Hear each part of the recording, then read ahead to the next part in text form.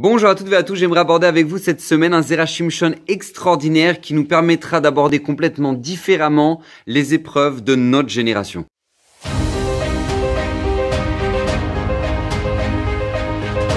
Alors le Zerachim de cette semaine, Bezrat Hashem, est bien évidemment dédié pour l'élévation de l'âme de Eliaou Ben Aïcha.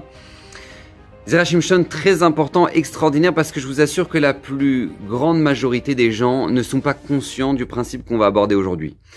Vous savez, lorsqu'une personne veut se défendre, enfin plutôt se protéger d'une situation, ou d'une tendance, ou d'une mode, ou eh ben cette personne-là va avoir le réflexe de s'éloigner de la chose et penser que ça va suffire. Or, le Zerachim nous dévoile que ce qui va protéger un homme comme Noir, dans la paracha de cette semaine, euh, de toute l'influence d'une humanité complètement dépravée, euh, qui, qui était dans la perversion la plus totale, c'est pas juste le fait que bah Hachem il a un bateau où s'enfuir au moment où maintenant euh, Akadosh Baruch va faire descendre le déluge et que maintenant euh, il lui a demandé de construire un bateau pendant 120 ans parce que comme ça au moins au moment où, le déluge va arriver il aura où se planquer. C'est pas juste ça nous dit le Zerachim Ce qui va sauver Noir déjà, c'est le fait de construire la Teva.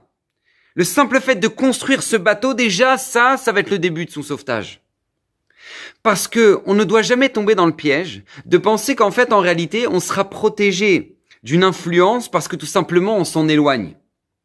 Nous dit David Ameller dans le passage dans Télim une phrase extraordinaire. Sourmera va setov. Il a attendu de nous deux choses. Si tu veux te t'éloigner du mal, alors c'est vrai, ok, éloigne-toi du mal, mais ça suffit pas. T'as une deuxième étape. À setov, tu dois construire le bien. Pas juste s'éloigner, mais construire le bien. Et ça, c'est quelque chose qui est extrêmement important. Parce que la plupart des gens font juste la première étape. Et non, non, mais moi, moi, j'ai absolument rien à voir avec le lachonara. Moi, le lachonara, rien à voir. Non, non, mais moi, je, n'ai rien à voir avec un adultère. Euh, je, n'ai rien à voir. Ah, mais moi, je, n'ai rien à voir avec, avec la, avec la drogue. Mais absolument rien à voir. Mais ça, c'est faux. Parce que vous savez, nous dit Zerachim Shon, dans la fin de Parashat Bereshit, on nous parle des Bnei à Elohim les fils de Dieu. De qui on parle? Alors le Midrash nous dit, on parle d'anges euh, qui sont descendus dans ce monde parce qu'ils ont critiqué les êtres humains et Hachem leur a dit, ah vous critiquez les êtres humains, bah allez-y, descendez, on va voir si vous êtes mieux que mieux qu'eux. Et justement, ces anges-là vont prendre l'apparence euh, humaine, ce qu'on appelle les fils d'Elohim, en fait c'est les fils de Dieu. Et en fait, eux euh, vont prendre la forme humaine et ils vont complètement se dépraver, ils vont tomber dans la faute avec les femmes, etc., dans la débauche. Mais nous dit Zerachim Shon, euh, une autre explication sur ces fameux Bnei Elohim. Il dit Zerachim Shon, c'était des tzadikim. On parle ici de tzadikim, les fils de Dieu, c'est des tzadikim. Des gens extraordinaires, des gens qui étaient à l'époque de Noir, mais qui vont tous finir par tomber dans la plus grande de toutes les débauches. Comment est-ce possible? Comment est-ce possible? Réponse, parce qu'il dit Zerachim Shon parce qu'il n'avait pas compris ce principe-là. Le simple fait que si jamais maintenant toi tu veux te sauver d'une situation, c'est pas juste le fait de te dire ah non mais moi je m'éloigne de ça parce que ça ça va pas te sauver. Ce qui va te sauver c'est de construire en parallèle. Je donne un exemple très simple, ça suffit pas de dire ah non mais moi ah moi moi j'ai rien à voir avec le lachonara. Ah non moi je, je, je ne parle pas mal sur les gens. Mais tu crois que c'est ça qui va te sauver? Mais pas du tout. Parce que peut-être qu'un jour ta femme ou ton mari va te faire une réflexion et va te faire du lachonara. Et qu'est-ce que tu vas dire à ce moment-là? Peut-être ton meilleur ami à ce moment-là va te faire, faire du lachonara. Qu'est-ce que tu vas dire? Ah non, mais moi je m'éloigne. Hein. Tu vas tomber dans le lachonara sans même t'en rendre compte. Ce qui va vraiment te sauver de la lachonara, c'est non seulement t'en éloigner, mais c'est de construire en parallèle, étudier la lachot du lachonara du Chefetz C'est ça qui te sauvera. Et c'est ça qui est extrêmement important de comprendre. Dis, ah non, moi j'ai rien à voir avec la drogue. Ah non, absolument. Ok, peut-être peut-être t'as rien à voir avec la drogue, c'est vrai. Mais par contre, qu'est-ce que tu vas faire? Tu vas peut-être tomber dans des kidouches où Blainara, ça boit beaucoup, où c'est bien arrosé. Et toi tu dis, mais non, mais j'ai rien à voir avec la drogue. Mais comment t'as pu rentrer alcoolique complètement chez toi le, Shabbat matin? Pourquoi Parce que t'as bu comme ça un kidouche? Mais comment c'est possible? Réponse parce qu'en fait, euh, tu n'as pas fait attention. Tu dois non seulement t'éloigner d'une situation, mais tu dois construire des valeurs pour t'en éloigner véritablement et pour ne pas, être, pas tomber dans le piège. Parce que tu dis, ouais, moi la drogue ça me concerne pas, mais t'inquiète pas que le satan il t'a trouvé l'alcool. c'est une forme de drogue aussi. Et c'est la même chose pour les gens qui disent adultère. Ah non, non, moi rien à voir. Ah non, moi l'adultère ça me concerne pas du tout. Non, moi j'ai un minimum de morale. Ah ouais, d'accord. Vous savez que moi je connais des gens qui, qui sont juste suffis de dire, ah non, mais moi j'ai rien à voir. Mais ils ont trompé leur femme à cause de WhatsApp. Par des WhatsApp. Et ils ont pas vu la faute venir. Parce que c'est pas ça le fait de t'éloigner qui va te protéger, c'est le fait de t'éloigner mais de construire en parallèle. Est-ce que maintenant tu apprends la halachot de garder tes yeux? Est-ce que tu apprends en parallèle les, para les halachot de, de, de de ne pas se retrouver enfermer avec un homme ou une autre femme? Est-ce que maintenant euh, tu apprends en parallèle les halachot de la gdusha? Est-ce que tu apprends toutes ces halachot là Parce que c'est pas juste le fait de t'éloigner? Et c'est ça qu'Hachem a demandé à Noir. Hachem lui a demandé à Noir, tu dois t'éloigner de cette génération. Mais comment Hachem va faire en sorte qu'il va s'éloigner de cette génération complètement dépravée Il va lui dire construis un bateau construis un bateau, que tu es devant toi, devant les yeux, et que chaque jour tu es en train de construire ce qui va, la, seule chose qui pourra sauver l'humanité. Ce bateau-là. Pas juste t'éloigner et rester dans ta maison. Non, non, fais une action de construire en parallèle. Vous savez, on a eu dans le Israël un, géant qui s'appelait le Rav Israël Salanter. Rav Israël Salanter, c'était tous les grands de la génération, d'accord, le Rav de Brice, etc., ont témoigné sur lui qu'il aurait pu être le, grand de la génération, mais de loin, tellement il était puissant dans sa Torah, dans son Irat Shamaim, dans tout.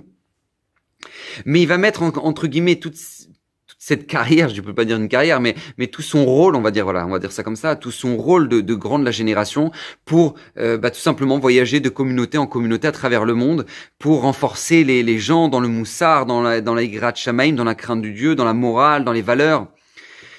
Et on lui a posé une fois la question à Rav Center, comment se fait-il qu'il il a il a voulu mettre de côté de son rôle de, de grand de la génération pour euh, pour justement endosser euh, ce rôle-là, bien que c'était quand même un des grands de la génération, mais Comment se fait-il qu'il va il va, il va passer son temps à faire des, des, des et des drachotes?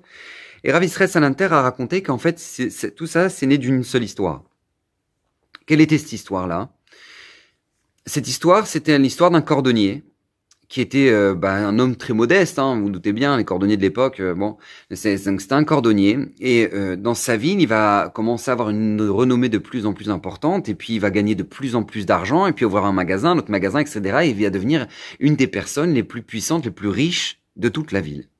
Commencé cordonnier, il a fini, bah, au avec une grosse bracha, et bien évidemment, vous doutez bien que ça fait des jaloux, d'accord euh, les, les, les, bourgeois de l'époque, qui eux avaient reçu de l'argent, qui n'avaient rien fait de leur vie, mais juste avoir reçu de l'argent de leurs parents, et eh ben ils avaient déjà tout claqué, et puis ils avaient plus d'argent, et puis vous voyez ce, ce cordonnier là chez qui ils déposaient leurs pompes, et eh ben maintenant c'est lui qui a la tête d'une véritable euh, entreprise incroyable, et puis euh, et puis ils extrêmement jaloux de lui.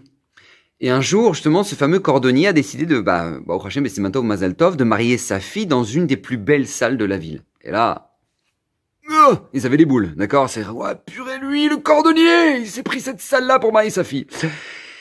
Et là, il y en avait qui étaient tellement jaloux de lui qu'au moment où maintenant il va emmener sa fille sous la roupa, ils vont venir et ils vont lui dire dans l'oreille "Dis-moi, on a des chaussures à réparer, combien tu prends? Genre euh, t'envoles pas, euh, t'envoles pas avec ton mariage, hein T'es qu'un cordonnier." Le cordonnier va être tellement choqué d'entendre ça au moment où il emmène sa fille sous la roupa qu'il va faire un arrêt cardiaque il va mourir.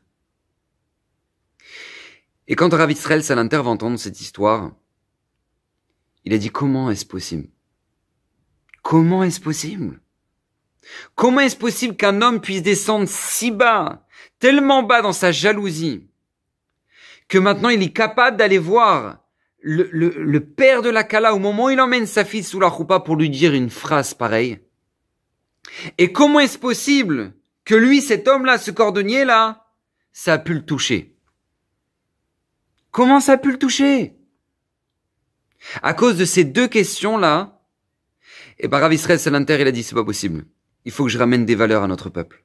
Il faut que je les renforce. Il faut que je la ramène la émouna, la crainte d'Hachem. Il faut, il faut que, il faut que je fasse quelque chose. Et il a mis la clé sous la porte. Il a décidé d'aller voyager et de renforcer toutes les communautés à travers euh, toute l'Europe, la France, Paris entre autres, hein, Paris entre autres.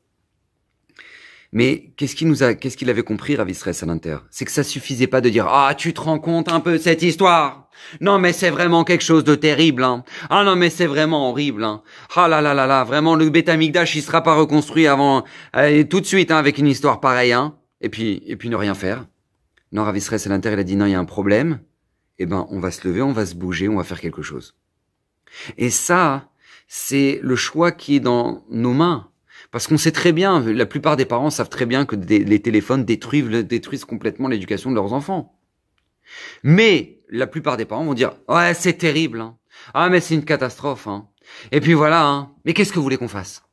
Et puis ils vont pas appeler à essayer de mettre un filtre sur leur téléphone, ou sur le téléphone de leurs enfants, essayer de, limiter les heures de connexion. Ils vont rester comme ça.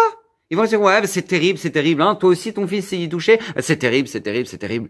Mais on peut pas rester comme ça. Si, il y a, y, a, y, a, y a un maboule, il y a un déluge qui arrive.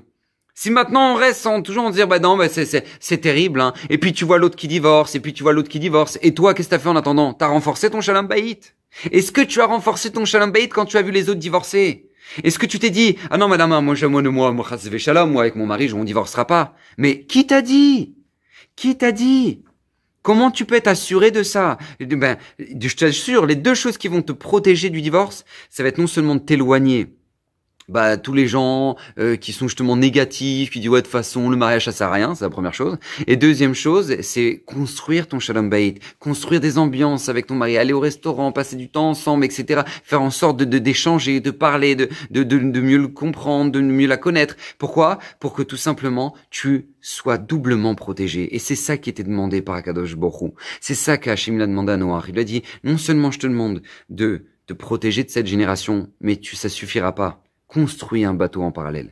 Donc Bezrat Hashem, qu'on puisse euh, aborder Bezrat comprendre cette notion extraordinaire que nous a dévoilée Zerachim Shon, pour que vraiment dans tous les domaines de notre vie, parce que ça concerne vraiment tous les domaines de notre vie, on puisse se protéger, à la fois construire, et que voilà, toutes les, les, brachot qu'a promis le Zerachim Shon à tout celui qui l'étudiera régulièrement, bah, au Hashem, voilà, vous en avez une, bonne vingtaine sur, le, sur, le, sur la page YouTube maintenant, et bien que Bezrat Hashem, tous ces brachot euh, se déversent sur vous, sur votre famille, vos enfants, euh, vous ayez que du bonheur pour euh, cette merveilleuse année.